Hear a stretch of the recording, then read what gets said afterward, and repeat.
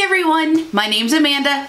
I'm kind of new here. So what I'm doing is more confessions because, you know, holidays. Birthday, Thanksgiving, I bought all the stuff.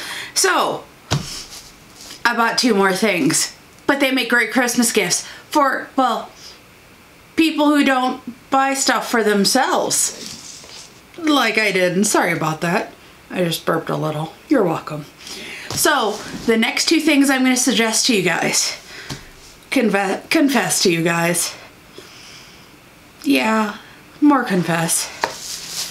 I bought the Anastasia Prism and Subculture. Yay!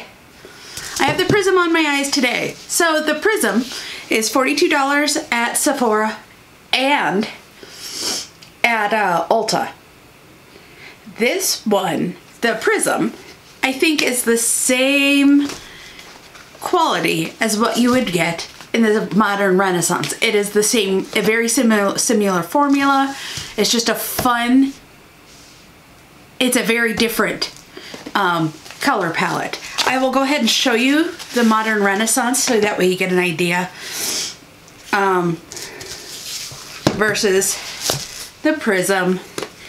And this is more, you know what, these are, both of these would make great gifts. Once again, the warm colored one, the modern renaissance, is on sale, 20% off at Ulta. Holy hell, that's like 33.60 something like that. Now, I'm going to urge you to buy the Prism because it's limited edition. You don't want to be the one who missed out because somebody didn't pull the trigger.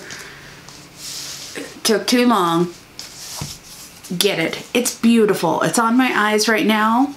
Um, what I did is I went in with Unity to give myself a base color. I went in did a transition with Lore and then I did on the lid some Osiris and Dimension on the uh, inner.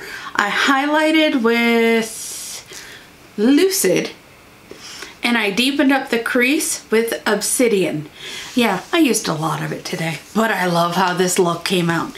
Um, the next one I'm going to suggest, this is more, this is a permanent, permanent palette. And um, just so you know, uh, the regular price on all Anastasia palettes are $42. This is the only one that's on sale. But this subculture, I love the color selection in this. The color selection is gorgeous. However, this is someone for somebody who is more advanced. This is not for the beginner. This is for the person who uh, knows how to work with a pressed pigment, which is pretty much what this is. Um, what I have done a lot is, okay, I've only used this palette like three times, but I like Cube to go as a topper, which is this white color.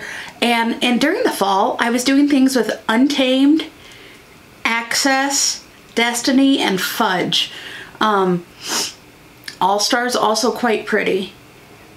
Roxy, I mean th this this palette in its in and of itself is fabulous if you know how to use it. Now, that's why I, I say, yeah, you guys, if you buy it for someone, you don't get it for a beginner. But also, Prism is limited edition. And it, it and my advice is to go with that. So, yeah, I have all of them. I have more eyeshadow than I think I'll be able to use in a lifetime. But, um, decade, whatever.